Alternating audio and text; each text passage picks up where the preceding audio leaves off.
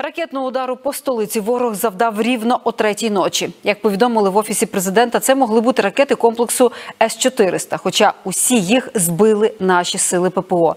Численні уламки наробили біди в лівобережних районах міста. На щастя, минулося без загиблих, але постраждали 53 людини. Серед них шестеро дітей.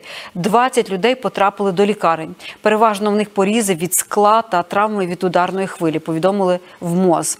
Уламки поцілили серед іншого в дитячу лікарню і дитсадок. Значні пошкодження дістала житлова дев'ятиповерхівка. Людей вночі довелось евакуювати. Уламки приземлились у трьох районах Києва: Дніпровському, Деснянському та Голосіївському.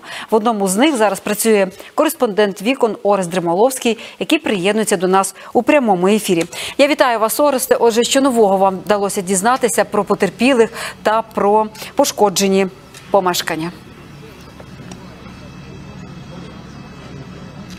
Вітаю, Олено. Ми перебуваємо у Дніпровському районі міста Києва. Позаду мене вам, мабуть, не видно вирва від російської від уламків збитої російської балістичної ракети. Праворуч від мене дев'ятиповерхівка, а ліворуч дитячий садок. Наскільки масштабні руйнування ви можете побачити на відео у будинку вибиті практично усі вікна і двері.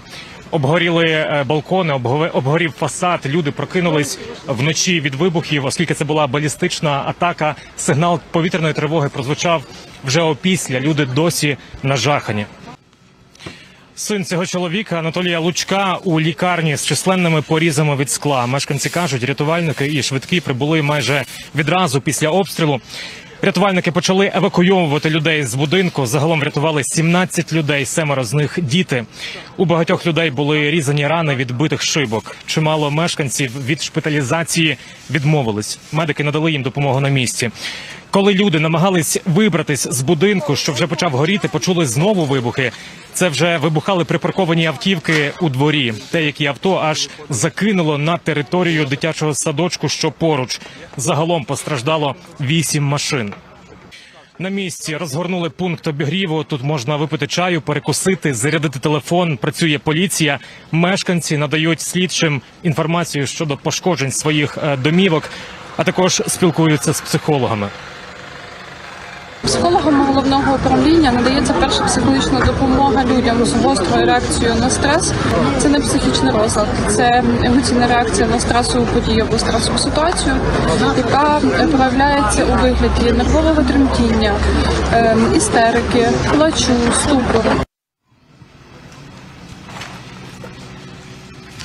Загалом від е, ракетного обстрілу постраждало 4 багатоквартирних і 4 приватних будинки, 19 автомобілів, 4 з них знищені повністю. Пошкоджено також водопровід. Постраждали від ракетної атаки загалом у Києві 53 людини, з них шестеро діти. Двох дітей шпиталізували, але вже відпустили додому. Станом на зараз у лікарні залишається дев'ятеро постраждалих. Це нам повідомили у міському департаменті охорони здоров'я. Олено. Дякую вам, Оресте, за таку детальну розповідь. Це був Орест Дремаловський з наслідками ракетної атаки на Київ.